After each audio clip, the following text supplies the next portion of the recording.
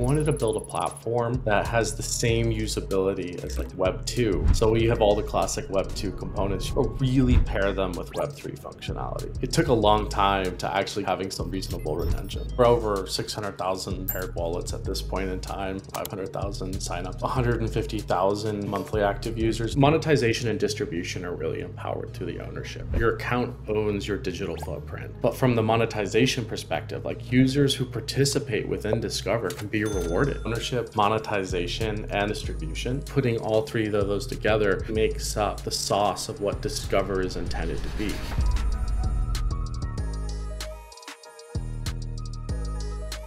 Welcome to another episode of Blockster. I'm here with Rick, the co-founder and CEO of Discover, which is spelled D-S-C-R-V-R, um, but pronounced Discover. So let's start with the story behind it. It's the main reason that you chose this particular name because the name Discover uh, was already taken, or was it just intentional? was like what was the thought process behind it? Yeah, you know, it's a good question. Um, you know, we first I was looking for domains, and we actually like almost ended up on this name called Polis, and I was like, because it means society, uh, possibly in Greek or something, and I was like, ah, you know, it's cool, it's a fun name. Uh, the domain was available and everything, but um, it just like it just didn't feel right. So I was just typing in domain names, and I was like, I really liked like discovery or discovering something, uh, and I've always been one to like remove vowels from words. So uh, I tried Discover like DSCVR, and it was available, but only in .one.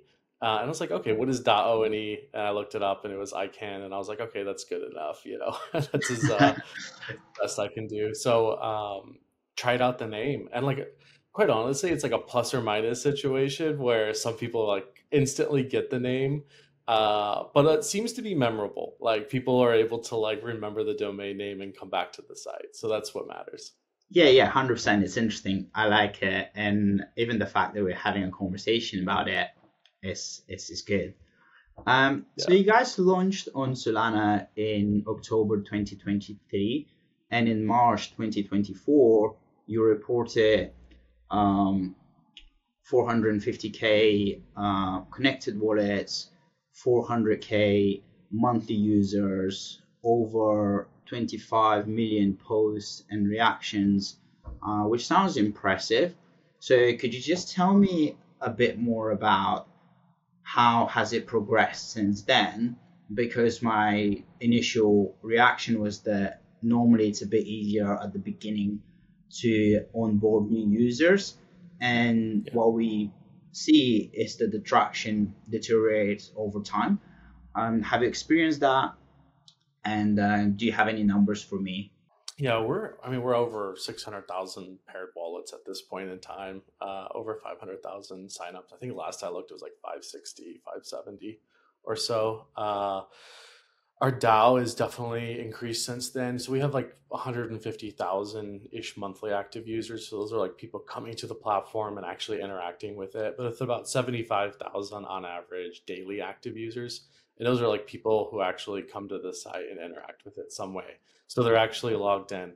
And like what's important to us too is like we're a site that people browse. So um, you don't have to be logged in to actually use Discover. So you can just come to the platform, browse to the feeds but like if you want to start interacting with it or start engaging with it, obviously you have to create an account. Um, so it's really about like how many of those users who are actually logged in and how many of those users who are like lurking are we actually converting is what's important. Uh, posts and comments and and upvotes as well over that number also. Um, but it's uh, you know we've seen continued growth and we've seen like continually to hold the numbers that we have. So it wasn't this big spike but I, like I'd really point out, it wasn't like it took a long time to actually get to the point of like having some sort of reasonable retention. That's really good. And what I like about a platform is that, as you said, there are levels to it. So you can just browse and then you can sign up with your email and then you have the option to connect your wallet, uh, whether it's like MetaMask or anything else. Um. And I think that's the best way to onboard users because everyone is talking about the next billion. But for us to be able to do it, we need to do it gradually and allow people to just tip their toes and essentially realize the benefits of Web3 and then on board fully. So I'm I really like the approach because when I was um, setting up my account, that's something that I, I really like. Um, it's funny because we've been beating around the bush talking about Discover, uh, but we haven't actually talked what exactly you guys do. Um, so could you give me the TLDR? I know that you're like a Web2 style social app with um, crypto components. Um, but yeah, could you could you tell me a bit more about it? Yeah, so Discover, we're a, a Web3 social network. Uh, we also have a protocol uh, that we're probably going to be launching in the next couple months. Uh, and the idea is, is like we wanted to build a platform that has the same usability as like Web 2. So we have all the classic Web 2 components you might find in a social platform, but really pair them with Web 3 functionality. So the ability to actually really interact with on chain assets directly through the platform.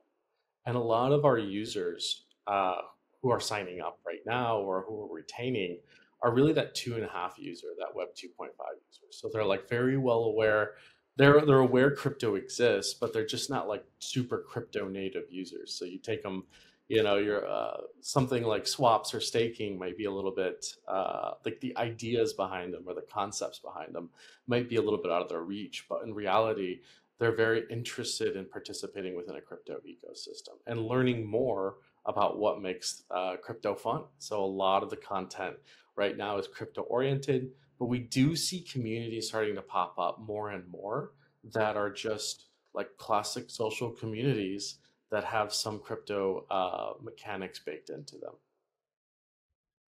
And when you're talking about the blockchain slash crypto components, I normally associate them with you being able to monetize, you having full ownership over your content, and you having control in a way that the platform can't just ban you. Um, so could you run me through these three main components um, and do you provide them? Just let's just um, delve a bit deeper into that. Yeah, so we really think about these three things, which is the ownership, the monetization, and that distribution.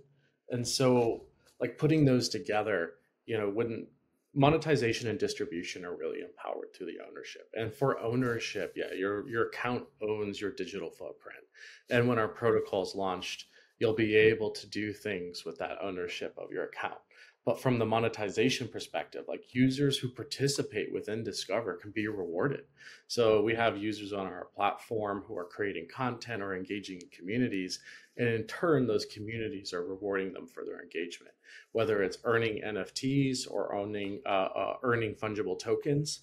People are being able to monetize their actual digital footprint. And for a distribution, like users who are partners or creators are able to come to our platform uh, and get reach on our platform, which allows them to distribute the content they're creating. But also, we have the ability for app developers to come to the platform and develop micro experiences, put them directly within the feed, and get distribution for their applications. And to me, like looking at all three of them, like I really focus on empowering the distribution mechanic for users, uh, creators, and the partners. So that means that like you have people on the platform who are not only creating content, and they're creators like yourself, but you also have partners. So we're companies who want to get distribution for their product or get more awareness for their product. So I think there's to me like putting all three of those together really makes up the sauce of what Discover is intended to be. And as we move forward through that, we're seeing a lot of interest in creators who want to come onto the platform and create uh, their own like social presence and you're seeing partners who want to empower those creators through distribution.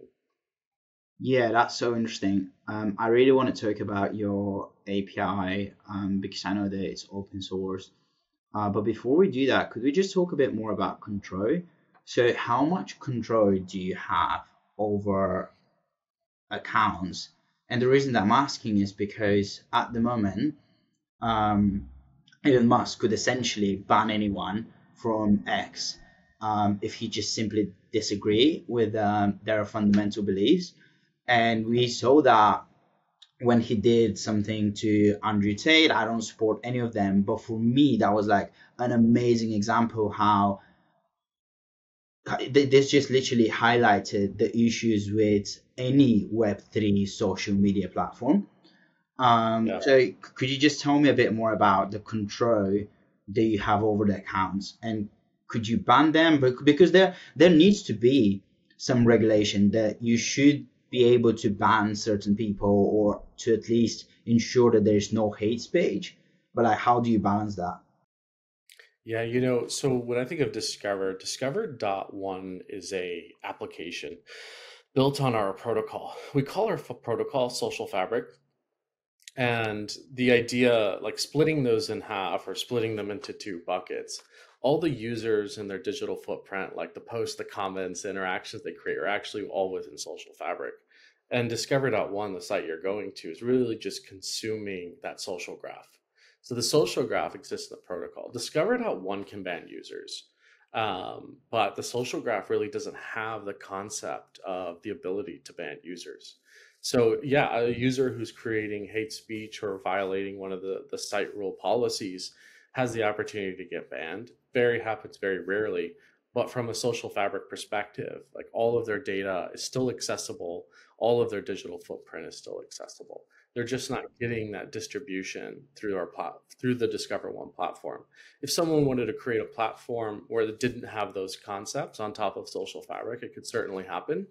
But uh, it is still a really good question on like how do you make sure the safety of the users is still uh, possible. And i think like from a, a, social perspective there definitely needs to be mechanics especially in platforms like discover to provide safety for the users. And so there's also the ability to ignore users uh, which takes them out of your feed and it doesn't allow you to doesn't allow them to follow you or uh, send you notifications and things like that but at the end to me i think it's still really important to give users like the transparency and the freedom to express themselves as much as possible.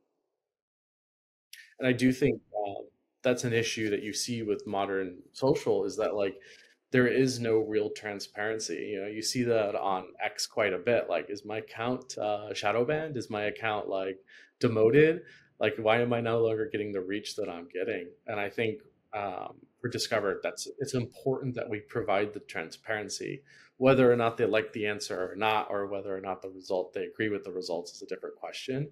But at least having them know uh, the status of their account. Yeah, I definitely agree with you.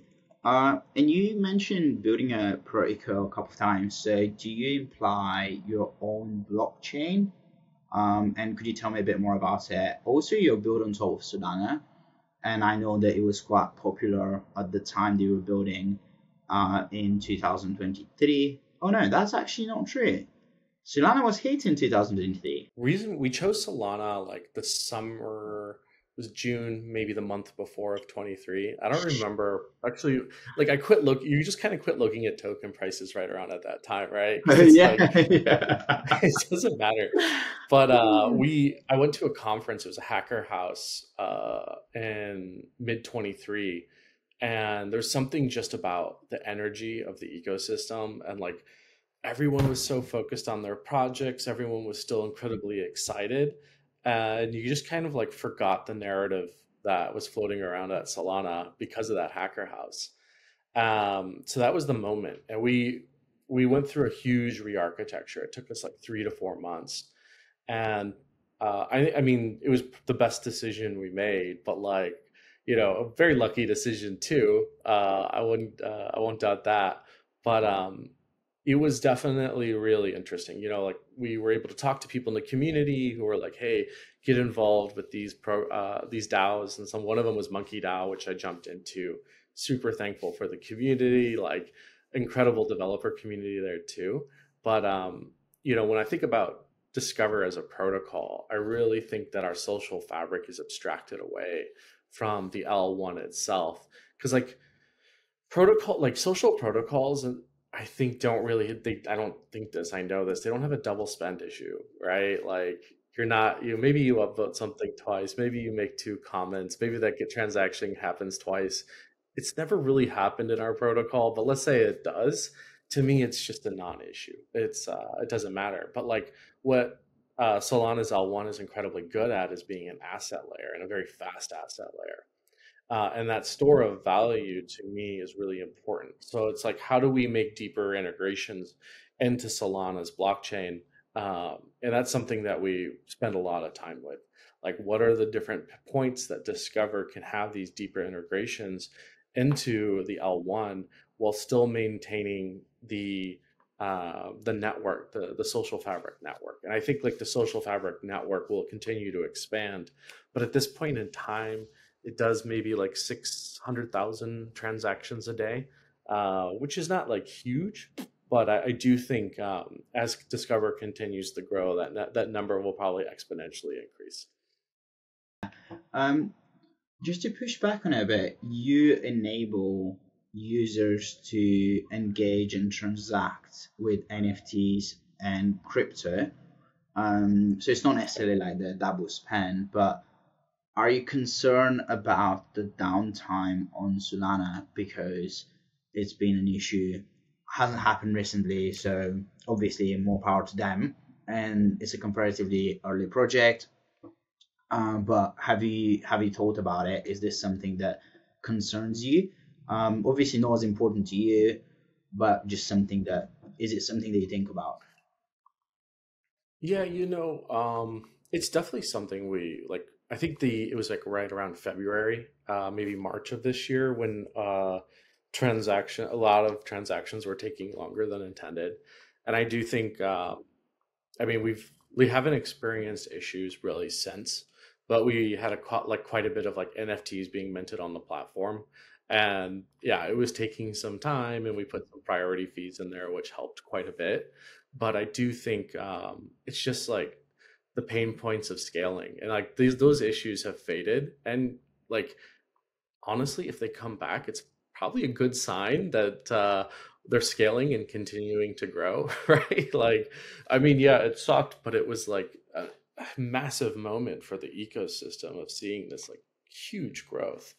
But uh, you know, looking forward, you have Firedancer, which will be uh, coming out in the next couple months, maybe end of year, and like you know, it'll just continue to improve. And like, I I do hope when uh, as they make those improvements, they continue to hit these roadblocks because whatever those roadblocks are going to be, especially with scalability, most likely means the size of the network has reached uh, that capacity. And then they'll come up with a new solution or a more improved solution. So I think it's just the pain points uh, growing um, a protocol, and especially with a protocol with so many consumer users that uh, it's uh, putting challenges to the paradigms of how current L1s are constructed. Yeah, I'm definitely. And global state machines are like a freaking complex problem. So, uh, yeah, it, there's quite a bit of like, to me, it's like you see so much growth, especially with inside of like how new applications are being built on that L1. Especially, you know, you saw Pump.Fun and a lot of those others like really put the test of like how scalable this is. And uh, I'm not super aware of their architecture, but I would argue there's probably infinite room for improvement for at least the next couple years. Yeah, I guess the same principle uh, or the same argument could be made for pretty much any other L1. Um, it's just about choosing your regrets and being aware of the challenges that you have uh, building on a certain protocol. Uh, you mentioned APIs earlier on, and I know that you have open APIs. Um, I think that as like Web3 natives, you hear like APIs, SDKs all the time. Um, so could you just give me the TLDR of those, and then we'll just the um, we'll just have a in-depth conversation about the way they utilize them. Yeah, you know, um, from a Discover API perspective, for us, it's gone through multiple iterations, and our current iteration is really designed to meet developers about where they're at and what type of tools they're used to consuming. Um, like you know, there's a lot of arguments of different ways on like how APIs can be consumed or distributed. And like for us, it's really important that we we've created something that not only is the zeitgeist, but actually meets the demands and needs of developers so that they don't have to go out there and like create their own augmentation or their own vision of how it works. But to us, it's like, you know, Discover API is just an API built on social fabric. Anybody technically could build their own API and provide their own vision of what and how that information should be transmitted and consumed. But to me, it's super important that there's a plug and play with a platform like Discover so that developers can like really create their own vision or their own experience on how that should be. Um, and like there's infinite like APIs have infinite room to improve, and that's why they're constantly being iterated upon. But I do think like looking forward, uh, we still have an incredible amount of room to grow our API and like improvements to make to it. Um, but it like and it's in process too. It's like uh, I think it's a forever evolving uh, part of Discover, and I think our SDK too.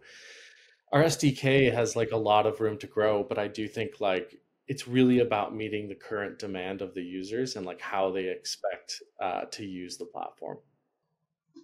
Yeah, and if there's like one thing that you could achieve with your APIs and your SDK by the end of this year, what would that be?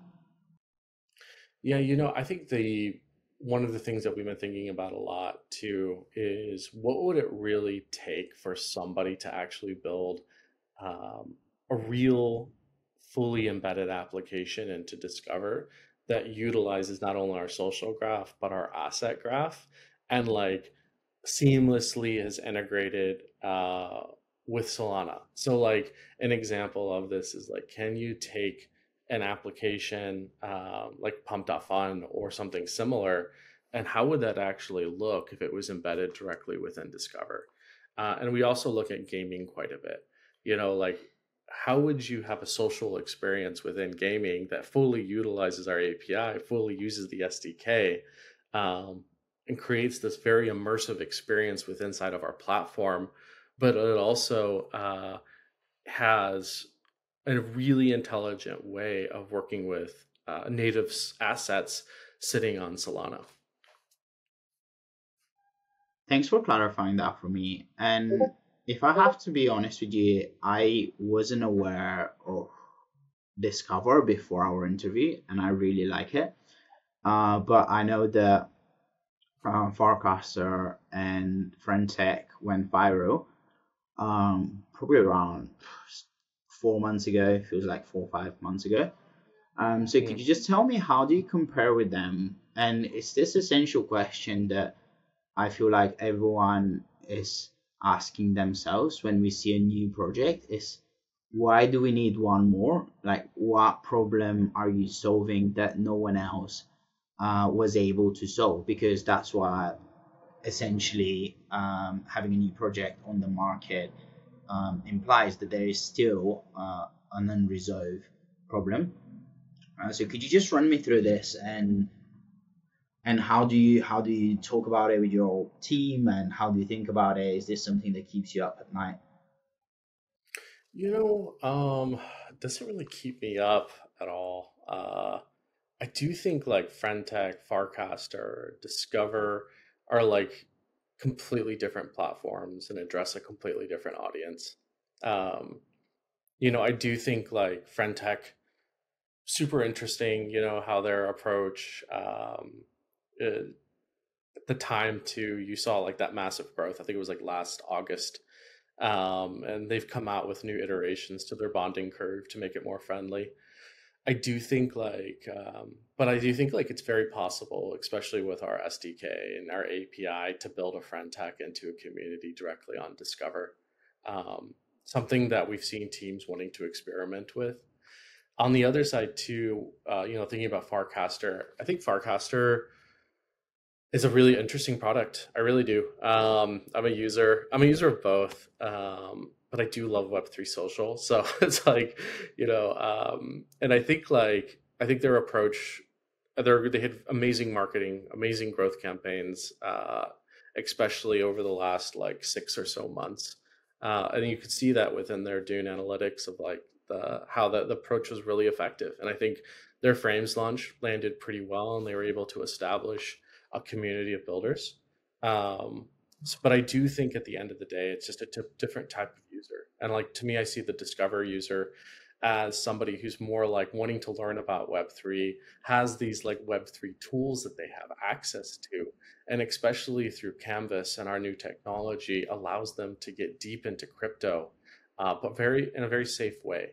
But it also allows you to within sign up. You know something about Discover. By the time you sign up, you're you already have a wallet right? So you could sign up over Gmail or you could be using your native wallet, like your Phantom wallet, but by that, or username and password. But the end of the result is you end up with a, a non custodial wallet. And I do think like another interesting point too is like from a discoverer's like perspective, we hear that quite a bit. People are like, "Hey, I haven't heard of you guys. Um, we really don't spend on marketing. You know, this is like this is one of our few times that we've actually you know really approached marketing and like really pushing the message because we really believe that discover is at that point too where where we would be looking for more growth. And you know from a daily active users perspective like it's not it hasn't hurt us. How about that? Um you know the acquisition of users at this point has been almost compute, completely grassroots and organic like we do have twitter campaigns and things like that as in you know you know follow to like or whatever or join the community. But in in reality that doesn't help us with sticky users. Um, it really doesn't. Any most of the acquisition channels that we have where we get our sticky users are from sources that are definitely not twitter. Um, but then also you know like the kol approach and things like that i do think are super effective for spreading message and building awareness but for us, it never really created a user that stuck around. So for us, it's been like, what is the product, right product for the user, and what will retain users has been our primary focus. So over a marketing approach, we've taken a very much a product first approach. Uh, that's definitely something that I want to hear. Uh, I guess everyone wants to hear because that's the most important part. And I believe that the reason that users will keep coming back is because of the product and the marketing effort is essential but if you don't have a good product you would definitely struggle with the user retention. Uh, but just to bring you back on what you said earlier that you're a user of both platforms and correct me if i'm wrong but i also think that you're a user of x. And I, have been struggling with this a lot because i want to be a web3 native but i feel like we're not there yet and i'm still on X as well. Uh, but we are also talking about fiat and crypto, and I was just telling you how I still have fiat, even though I have the majority of my funds in crypto, because I still feel like I need fiat. I can't live just with my crypto. Um, so, just the, the first question is like, how long do you think it will take us to transition from that, from this like Web two to Web3 where the Web3 natives are just like, I'm done with this. I don't want to be on any Web2 platform anymore. I just want to be a Web3 native because for me, I also think that it's the way that you define yourself and the way um, that you align your beliefs. So if you buy Bitcoin, you're a certain type of person. You just believe that like uh, money and state should essentially be separate. And if you buy different protocols they have a different underlying um, fundamentals and probably ideology. Um, yeah, so that's a comparatively long question, uh, more, more of a statement, but I hope um, you get what I'm leading with it. Is like, a, how long would it take us to become Web3 natives or to have the opportunity to be Web3 natives? Uh, but also, when do you think the people that are building Web3 products will have the opportunity to say, I'm done with Web 2, I want to be out of it? Ooh, you know, I mean, so the answer to the X question, like, you know, you have to have, like, especially if you work in crypto, you almost have to have an X account.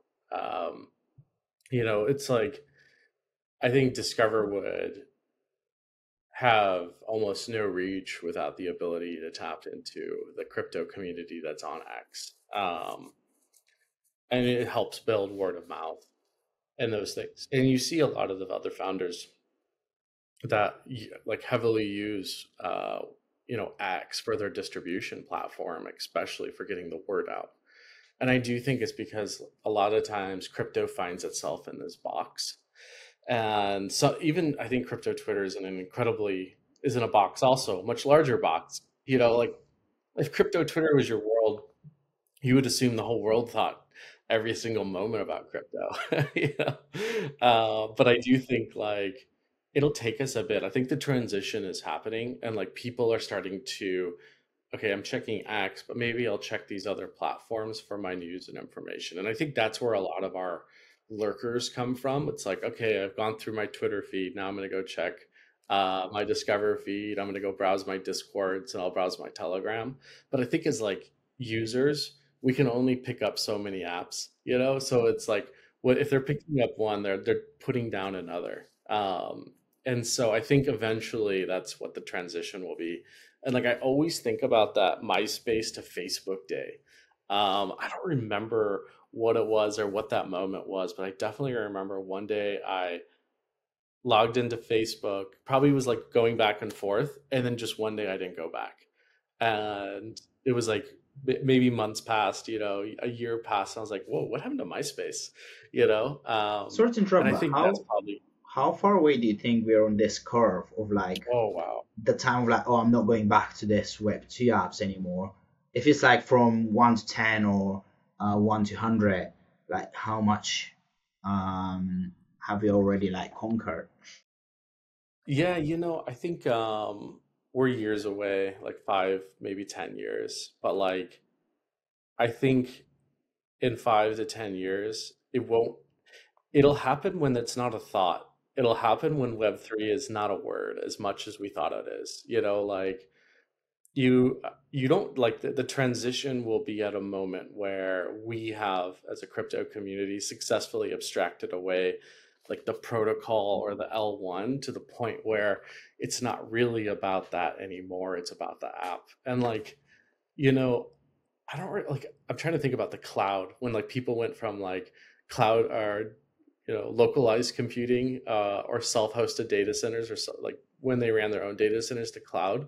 Like, I do remember apps kind of being like, we're on cloud or whatever, but no one cared and I think that transition will most likely be the same, where it's like just blockchains have the scalability and inherent properties that make uh, transfer of value seamless and simple, and modern uh, applications will emerge that inherit those in a way that makes sense.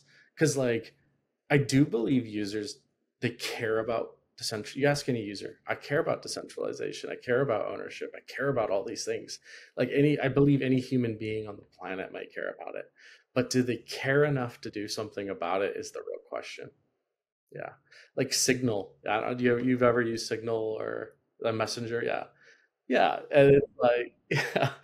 It's like it really it's pretty safe pretty secure uh you know hides all like has the property security in place um and you would think that most people would just use an application like that but in reality like there's no push. It's like there's no like yes i want these things but i'm not going to make change to have those things and i do think once blockchain and protocols reach that like moment we'll see the transition but i do believe like in the next 5 to 10 years we'll see that seamless transition where it's just like one day I'm using Web 2 and then one day I'm using Web 3, but I never even thought about it.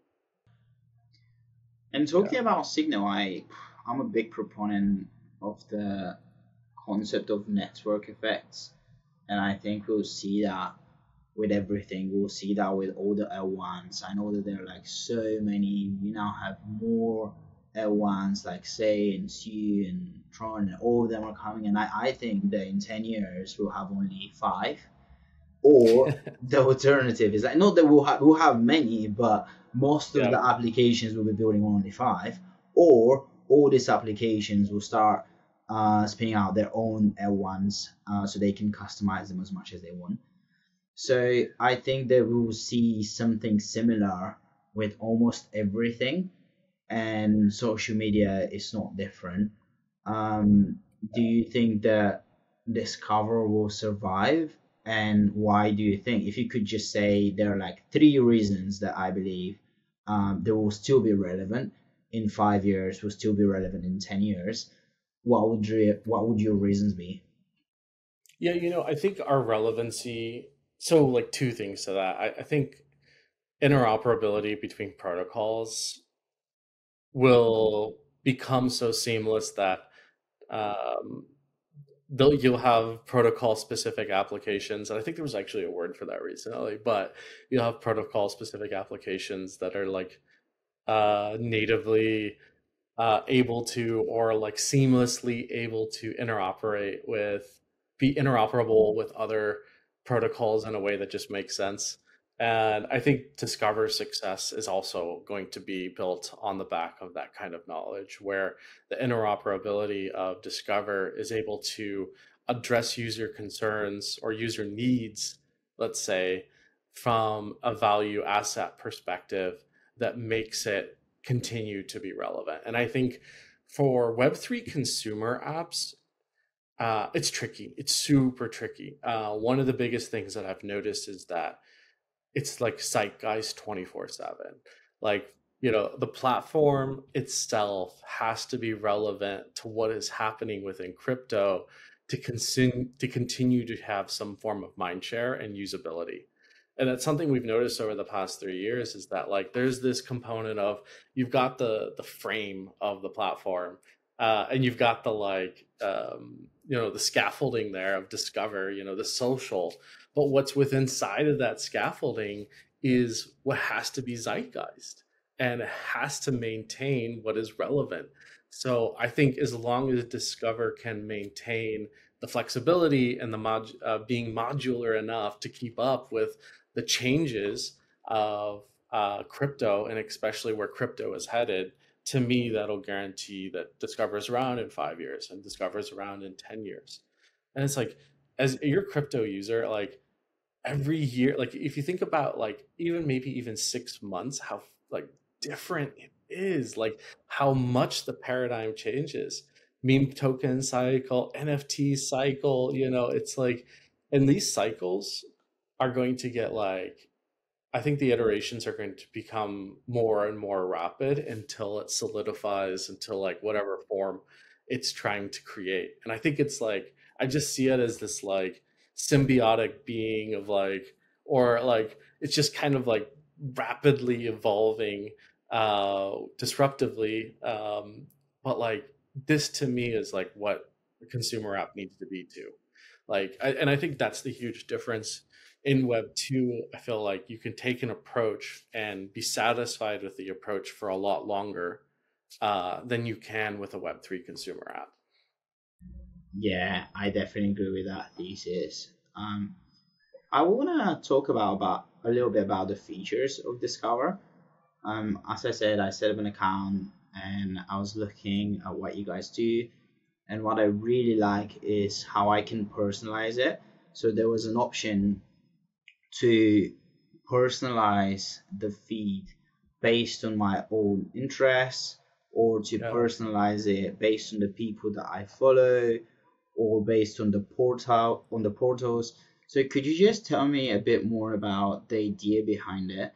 Um, and I'm not on socials actually because I think that they're so addictive, and it's so challenging to manage this because you want to be exposed to new ideas. You want to be exposed to everything that's happening in the world but you also don't want to spend two hours scrolling down. Yeah. and because it's like so personalized um, you can like fall into this rabbit holes. But it's also good to be personalized because you don't want to i personally don't care about bags or i don't care about i don't know certain things. So i care about is crypto.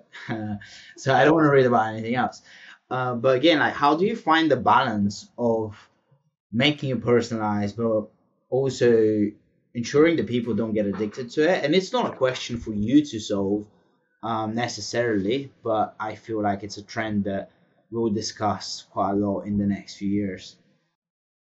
Yeah, that's a really good question. Um, so for feeds, you know, we've iterated our feed technology 100 times over at this point.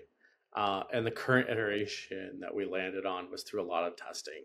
Like, how do we get a certain time on site, or how do we get a certain depth of scroll so that a certain amount of content is seen? And like the main feed, the homepage feed, is that like truly that intersection of like, okay, these are people I follow, communities that I'm part of, but or uh, and are they commenting, posting? So if I follow someone and they comment on something, should it show up in my feed?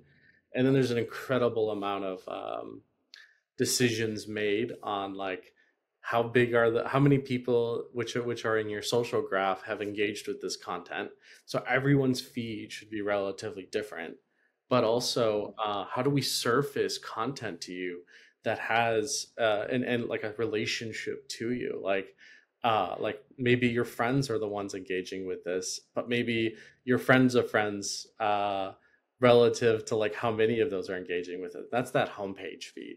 And then it's like, we're like, well, maybe it's like too much information. So we've created like uh, your follow feed, um, which to me, like, it's it's interesting like it's really it's really about surfacing new things that are happening with inside of the people that you care about but also like portals what communities so very community specific feed um, and the all discover is really like everything that's happening on the platform with minimal amount of your social graph and more of like that global social graph uh, how they're interacting with it. Like the for you feed gets by far the most and i like interestingly enough it's like the portal feed is second. Like that's what people care about second most. Uh, like the following feed gets good interactions in the all discover but it's like it's really about what meant like give me like content that i want uh, that's relevant to me and like just tell me what's happening within the communities that i care about. Um, but like from a, like a, a, a true like am i addicted to social perspective? Um, I think it's like those style of algorithms like we're super aware of we know how they work and those are not the type of algorithm approaches that we're trying to take and a lot of those algorithmic approaches are i don't really believe are based like really based off of like um sentiment and feeling like there's a better, way better word for it but it's like reaction and like like how how to keep people on the hook um and it's like a really just boils down to what style of dopamine kick that are you trying to give to your user. And for us, the style of dopamine kick that we're trying to give to our users is like, here's information that is like relevant to you and your friends and users. And like, I think, you know, at times, like the TikTok algorithm is not truly, I don't truly based off of like your social graph, more of like basically probably how it impacts uh, the style of dopamine kick that it's supposed to give you. So mm. that's very like, interesting. I've never thought about it yeah. in that mind frame. Um, could you? I have a few more questions about it, but could you tell me what portals are because our viewers might not be aware of it, and I know that oh, yeah. we uh, once yeah, you so sign cool. an account, oh sorry, just that, that weird situation where like both pose, we both start talking simultaneously. But um, I was asking about how you enable people to actually start a portal because there is a certain um, coins requirement. I think it's fifty. Don't quote me on that. Uh, to start a portal, and as soon as you sign an account, you automatically give the required number to any user so they can start a portal and you're essentially incentivizing them to do it and enabling them to do it. Uh, but yeah, tell me more about portals. Why are they so important to you and why are they different? Yeah, so portals are basically community building uh, tools, and it's very similar to what you would find as like a subreddit on uh, Reddit. And to us, they're important because they're a way to house or kind of um, encapsulate like a, a discussion or a topic and like the idea is is i can create a, a community or a portal that's about a specific protocol or specific style of trading. It could be generic about photography, uh, like Photography Hub, which is uh, photography. It could be about music and things like that. But the idea behind it is is like really encapsulating um, how a specific community wants to interact. And what to me is really important about them is like it's they're very robust tools like you can create any types of rules and roles within that community um, and really customize that approach. And to me it's like you can go from any approach. You could make them nft gated. So you could be like hey i wanted you know this nft collection. Uh, only people in this community could uh, post but anybody can comment. Maybe it's anybody with this nft can post but anybody with this other NFT collection can comment. So it's like you can really create hierarchy and how people work. But I also think there's a lot of ways to take it from a token perspective, like a fungible token perspective. Like you could build, like I was saying, you could use the same rule set within Discover communities um, and using its roles to build something like Friend.tech if you truly wanted to. Um, but I do think like it's used for a lot of different paradigms. And I think like one interesting paradigm is like people want a community where only a certain amount of people can post so they're like content creators or bloggers uh, anybody can comment anyone can upvote uh, so the idea there is like we're the creators of this community and we're the ones who are like deciding on whether it's the content but uh, anybody can interact with it and i think from looking at from that approach you can get pretty uh, modular you can get pretty um, you can customize it in ways that really fit the needs of your community. And I think like I actually think the current iteration of it uh, is um, similar to Discord in a lot of ways. So it's like requires some knowledge and thinking to set it up. But I do think we could make better approaches to it. But to me, I wanted to give more tools to users and creators to be able to customize their experience and let through their customization inform us on what we want to know and it, the like the product results of it are uh, it's it's like a long topic but it's insanely interesting because it's like people configure communities sometimes in a way that actually speak to a product problem on discover uh, but there's a lot of ways to look at it. No thanks for clarifying that for me. And apologies for the stupid question because i'm not 100% sure whether prediction market is one of the portals or it's actually one of the features that you enable because I oh, yeah. voted on who's um, who'll be the Kamala Harris uh, VP, and uh, it was saying that if I've made the right choice, then I will be put in a pool uh, to be selected um, to win like hundred tokens or something like that. So I was just wondering on like, could you explain that to me? How does it work? Um, is it one of the portals to begin with, or is it something that you guys are run, running? I, uh, it's it's probably one of the. Um, I was actually gonna. Someone was telling me about the other day, and I saw uh, some information about it. And I think like one, it could be something people are running within the community, um, and it's like we see a lot of those, like people trying to experiment in different ways with like, hey, is this possible? What would the results be? Um, and I think te- like a lot of testing of like different user behavior is super important, especially within like Web3 consumer. I think it's a, uh, I do think Web3 consumer is completely greenfield. So like actually like figuring out what uh, what actually fits uh, and what what behaviors that you're tapping into for consumers is super important.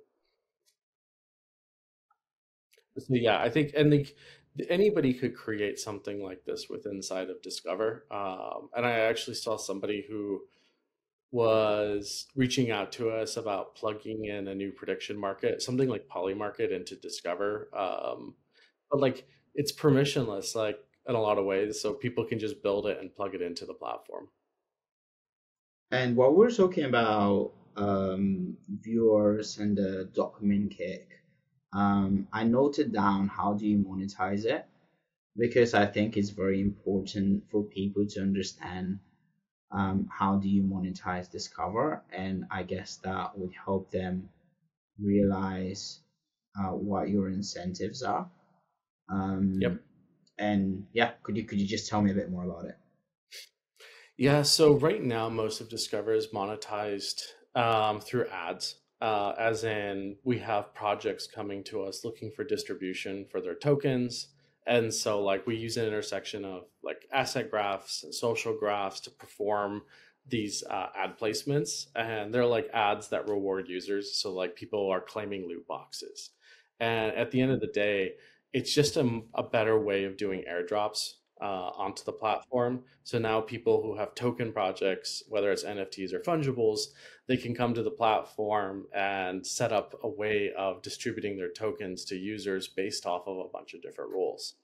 And like quite honestly, we don't really focus like there is monetization capabilities there, but like we usually just have them redistributed to the users because it's like it's also a growth mechanic too. So it's uh it's far better uh for far better for them to just distribute. And there's another two approach too, which is like we're looking at a, a couple different ways of through transaction fees. But to me, our core KPI uh, is really about growth and engagement, like really focusing on the engagement on the platform. And I think as a social platform, there's a million ways to monetize, um, but that monetization is really not our core focus. Our core focus is really about growing the platform. I was uh, I was wondering uh, how was the best way to phrase that question, uh, but you're essentially saying that monetization is not important at this point, but obviously money is important because if you run out of funds, then you won't be able to pay your team. Um, yeah. So uh, how are you planning to do that? I guess um, I'm, I'm honestly not sure on um, how much have you have you raised and how much budget do you have to run. Um, but it, if if that's not something that you're worried about right now, uh, is it because you have enough to sustain the project for the next five years? So you're prioritizing the project, building it, and you think that monetary value will come later on or is it because that's who you are as an individual? What's what's the yeah. idea behind it? That's a good question. Um, for us, you know, we raised a nine million seed uh, two years ago, um, and you know we have time to operate. Uh, we're currently looking at that next iteration of doing a raise, um, but I think what's you know to me, monetization is important. It's important to understand those mechanics. Uh, and I think we have a lot of different like practical uh, examples of techniques, but it's all it's all time. Like how much time do we have to focus on either growth or monetization or these different strategies? And to me, it's like there's a lot of different approaches that can be taken, but like to me it's so important to better understand and continue to grow the web3 user or web two and a half user which you know if you look at like how much time you have in the uh, a single day i think being able to focus on that that user is super important. Okay and just to bring us back to the features of discover i know that you guys worked on frames um, and it's so unfortunate because I don't associate frames as a technology um, or like as a feature with Discover. And my understanding of it is that it essentially enables you to integrate and actually embed applications directly in the feed. Um, and that's an amazing technology. Uh, but could you tell me a bit more about the technology itself and where it comes from, who developed it. Uh, because, as I said, like I associate it with a certain product, and I might be wrong. And I think that's the case for quite a lot of uh, viewers and listeners. Yeah, that's a good one. So, Canvas for Discover is this technology that we've released. And, you know, have you used Telegram mini apps? Yeah you know it's like it's very a very similar suite of tools. Where you have the ability to like have that pop up on telegram but for us we're embedding it into the feed. And the idea was is like how do you have a very rich experience for an app developer? Uh, also um, allow like give the utility to the developer and freedom to the developer to actually really express themselves with their application and the reason like yeah it's a feature that discover has but on the under the hood it's a technology that people have to um, really integrate with but i do think that like the technology is empowering um, and i think it also has the ability to be um, taken out of the feed and put into other locations on the platform. And I think that's what we're going to probably see in the next couple months. Um, but to me, it's like I can now take a typical web application that I've already created, uh, and like progressive web apps actually work really well. Telegram mini apps work super well, and with very minimal amount of changes to its code, it's plug and play with Discover's feed. Um, and so, like we have you get access to the user also like so you can tap into the user who's interacting with it and you can tap into uh, make requests to their wallet which we have quite a bit of security layers when communicating with from that canvas to their wallet. We use blowfish uh, which is like 95% of all blockchain transactions go through. But um, so we have this like suite of tools but it's also sandboxed. So it provides protection for the user and it's also uh, proxied, which basically means that the communication between the canvas and the user has a security layer to it. And there's a lot of new things or a lot of ways we're taking this approach. Um, but like you can take a you can make a Unity game, export it, and embed it right into Discover now. Uh, you can take a typical progressive web app, which is like 90% of like uh, blockchain web applications, and embed them right into Discover. And it also gives you access to the user. And it's like, to me, I really like this approach because, like, as a developer now, I could use the Discover user or I could just use their wallet as their identity. And so if the user wants to use my application outside of Discover, now they can actually use their application outside of Discover without needing the identity layer of Discover. And I think that's like that to me gives the freedom now to the developers. So it's like I can get my distribution, I can embed it into the feed, I can use a wallet authentication. And if I want to move on to my own platform or grow my application outside of Discover, I have the freedom to do that. And I think to me, this actually speaks to uh, the ethos of like how identity should work. And it's like, should identity be on the Discover side? It can be. Should the identity be their wallet? And it can be also. No, yeah, I love that idea. Um, I have so many questions, but I also want to talk about the DAO and the and the tokenomics. Um, so have I, I just want to want us to move uh, move on to that. Uh, but yeah, just uh, tell me a bit more about it. How has it evolved over the years? And tell me a bit about the token, the utility behind it. Yeah, you know, so token is something we've iterated, you know, something we think about in the future. You know, we don't have a token yet. Uh, you know, the DAO and the token on how they work together has been has gone through like infinite iterations. Uh, I think if we would have started with what we had planned, I don't think we would have been as happy with where we think we're at now. Um, and I think as crypto is evolving too, like how consumer apps approach uh, tokens and DAOs is vastly changing also. Um, so it's like we're planning it for the future. Uh, you know, we also want to make sure that like uh, U.S. regulatory uh, concerns are better resolved.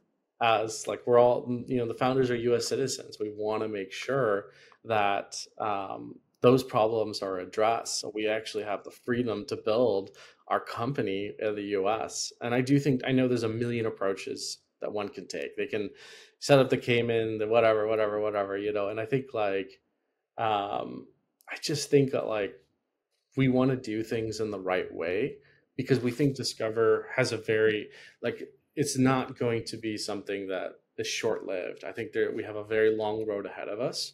And I want to make sure that we're planning for that five, that 10 years down the road to make sure that we can actually properly do those things. But I do think it's not impactful to the user because users are still earning on the platform. They're still able to be rewarded for being users on the platform. And I think DAOs, uh, evolution of DAOs has been like insanely interesting. Um, you know, ENS is something that we've monitored pretty closely of like how their approach to stewards and whatnot. And like, uh, I've actually been like meaning to keep up, go catch up and see like what's the progress they've made and like how have those allocations been spent. But I do think like it's a really interesting approach, and I think like the, you know, the consumer apps of the future that are really looking for that mass adoption also have to have their own network of builders and creators uh, that have bought into the paradigm of the protocol itself and discover the platform. I love how diplomatic you are when you were discussing the tokens. so you're like, we're U.S. citizens. We don't want to go to prison. yeah, Saying like, you you know, it's so interesting. Uh, you know, ex- especially when Uniswap, um, Uniswap launched their token, and there was a lot of push. Uh, like, look, they're a U.S. entity. They're a U.S. company. Uh, he's a U.S. citizen. You know. Um, they have faced no issues for their token launch, uh, and they haven't had had any problems. And then all of a sudden, uh, SEC shows up, and now they're facing those issues, and like, like your heart sinks because it's like that you really like the team behind Uniswap. Like, there's a team. Like, if you could respect some teams out there in crypto, you know, Uniswap's a pretty easy one, and so you're like, one, you want them to win, you want them to fight. Uh, you got to respect any decisions they make but like um, i think a lot of people are going to be watching that especially people who are trying to like create companies in the us uh, and, and, make them crypto native companies how do you feel about it how do you feel about the us and the regulations and the um, kind of convoluted environment that the us has created and i'm i don't know it's not much better in Europe, but everyone is content with the way the maker approach it. And this is something that we as crypto native talk and discuss. And I think we're kind of unfair and we're very biased about the US and we have this um, stereotypes towards certain individuals um, but how, how do you feel about it? And have you ever considered moving out or starting the company somewhere else? Um, you don't have to disclose if you don't feel comfortable talking about it. I don't care. Uh, I think like, um, I think I, I, care about like the subject. I don't care about like my like my opinion being heard. But uh, to me, it's like it's really frustrating. Um, you feel like you're trapped in this box of like uncertainty you know like i think it's like if you're going to break the rules you have to know the rules in the first place. You know it's like how do you know if you're breaking the rules if you don't know the rules? Um and like if you're a company that wants to follow the rules so what are the rules? Uh yeah and it's like to me that's kind of like the uncertainty definitely is like holding back innovation and growth. Um, like, I think brilliant people exist all over the world and are born in any country, any state. It doesn't matter, right? Like, but like, the fact that like the people like us being citizens here in the U.S. Uh, have this like these roadblocks and restrictions um, it's like super it's a very frustrating as a builder so it's like we have all these like brilliant people who are being held back by obscure uh, laws and rules without the ability for them to actually innovate themselves or innovate in a safe manner. Like i don't think i typically don't think people inherently want to break rules and i think uh, i think people who are who have the ability to like truly truly innovate within crypto or within blockchain or within web3 however you want to say it uh, i think a lot of those folks are most likely um, uninterested or they're just like well let's see when things resolve let's see, see where things are like nobody wants the problem nobody wants to like have obscure issues. You know, they want to feel safe within their environment. And I think this is impacting safety for really brilliant people who uh, they want to continue with their lives. And so, would I want to leave the U.S.? No, not really. Like, I kind of like I like my life here. It's chill. Uh, I've lived. I said talked to before. I've lived in London. Uh, I've lived in Germany at some point. Um, I had a great time. Uh, but like to like pick up my whole life and move um it's possible i've done it many times but uh i do think i've got to believe like within the system and believe that the people who are the system as in other crypto builders that they're out there like continuing the fight to make sure that those rules will change um and so to me it's like you got to support those who are trying to make uh who are trying to make good change and help define good rules within the ecosystem. Definitely. I agree with you. Um, my final question is what are you hoping to achieve by the end of the year and by the end of the decade? And could Yeah, you you know, put that uh, into really, sorry to interrupt, yeah, could you put that into numbers like how many users, active users would you like to have and how many um, connected wallets would you like to have? What would you consider success? you know, um, to me, it's a really about, I'm looking at about 3xing uh, numbers by end of year. So over the next four to five months, what is it? July, wow, time is flying. But, uh, you know, we're, lo- we're really looking about four or five xing numbers.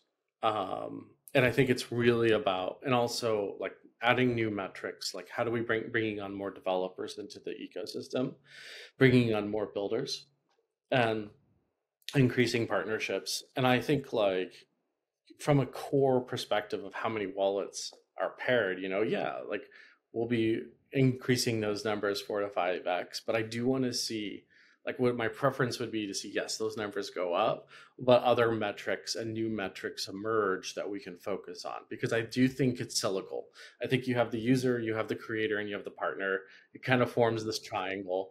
And I do think if you don't have the flywheel in place, uh, you don't see the growth that you need. And I do think, like, yeah, we have a lot of users, we have some creators, and we have some partners, but without focusing on the creators and partners a bit, it'll be hard to create that cycle. And I think, um, to me, those KPIs, uh, how they bubble up into the KPIs I care about, it's really important that we focus on those because I do think if we want to hit those like multi-million user numbers, uh, we have to basically make sure that flywheel is well tuned and well taken care of.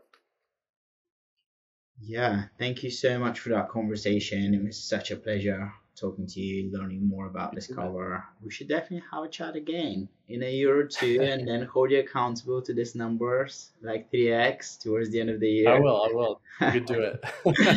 yeah, you thanks. could do it. Um, thanks for building it and really appreciate the chat. You too, man. Thank you so much, and thank you for having me. Uh, and I look forward to uh, our next chat.